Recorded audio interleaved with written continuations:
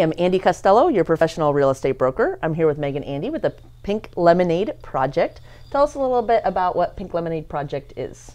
Uh, Pink Lemonade Project was founded in 2010 by Dr. Allen Gabriel. He noticed an absence of services in Clark County for people uh, affected by breast cancer, and so he started putting together um, programming through uh, some of our partner social workers with the assistance of the wonderful Jeannie Furstenberg um, for people who were impacted by breast cancer experiences, both patients and survivors.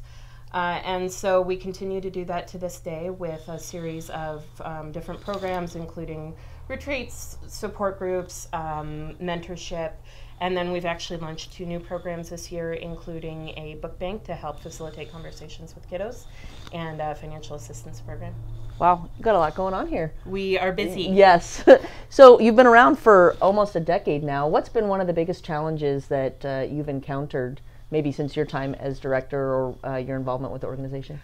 You know, I think the organization has been really challenged by program growth because there was a there was a big um, kind of movement towards okay let's do things this way and, and it wasn't really what the community needed or asked for. So one of my assignments when i came in it was really a mandate from the board was to develop new programming that was really responsive to community need and so we brought together some really fabulous wonderful people both our partner clinicians and our mentors to discuss what they saw as the need in our community and um, gratefully they were so responsive and helpful and really wonderful in um, giving us their feedback. And so we were able to create both the book bank and the Pink Practicalities, our financial assistance program, um, from their input.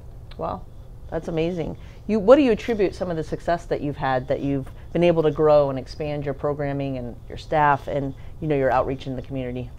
Well, and, and we've had very rapid growth in the last couple years. Um, we've actually gone from a one staff member, four program, three program um, project to uh, six programs, two new initiatives, and three full staff people in just over two years. And so I think the biggest thing is um, we've got major buy in from the breast cancer community, from our partner clinicians across all different um, health systems, including Legacy, Peace Health, uh, OHSU, Compass Oncology, um, and some really fabulous support in our community. We have a really terrific board um, who's really made up of some really brilliant people, survivors, um, husbands of survivors, and uh, just really terrific invested partners. That's fantastic because obviously that, that is working, that you're growing and you're expanding your reach. What's one thing you would want the community to know about the Pink Lemonade Project? Pink Lemonade Project is about serving all people who are affected by breast cancer. We're not just about breast cancer patients and survivors.